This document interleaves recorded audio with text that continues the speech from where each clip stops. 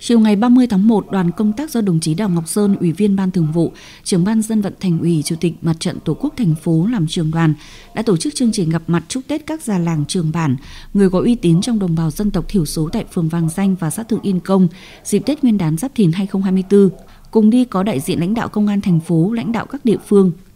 đoàn đã trao 28 xuất quà, mỗi suất gồm 1 triệu đồng của thành ủy, Hội đồng nhân dân, Ủy ban nhân dân, Ủy ban Mặt trận Tổ quốc thành phố và phần quà bằng hiện vật trị giá 400.000 đồng của công an thành phố cho các già làng trường bản, người có uy tín tại hai địa phương. Phát biểu tại buổi gặp mặt, đồng chí Đào Ngọc Sơn, Ủy viên Ban Thường vụ, Trưởng ban Dân vận Thành ủy, Chủ tịch Ủy ban Mặt trận Tổ quốc thành phố đánh giá cao vai trò quan trọng của già làng trường bản, người có uy tín trong đồng bào dân tộc thiểu số trên địa bàn thành phố trong việc tuyên truyền vận động nhân dân, thực hiện tốt các chủ trương đường lối chính sách pháp luật của Đảng, Nhà nước trong xây dựng khối đại đoàn kết toàn dân, tích cực tăng gia lao động sản xuất, tham gia có hiệu quả các cuộc vận động, các phong trào thi đua yêu nước, góp phần bảo tồn phát huy bản sắc văn hóa truyền thống của dân tộc, của các vùng miền và thực sự là chỗ dựa vững chắc cho Đảng bộ, chính quyền, nhân dân thành phố thực hiện thắng lợi các nhiệm vụ phát triển kinh tế xã hội, giữ vững quốc phòng an ninh trong những năm qua đồng chí Chủ tịch Mặt trận Tổ quốc thành phố mong muốn trong thời gian tới, các già làng trường bản, người có uy tín với trách nhiệm và uy tín của mình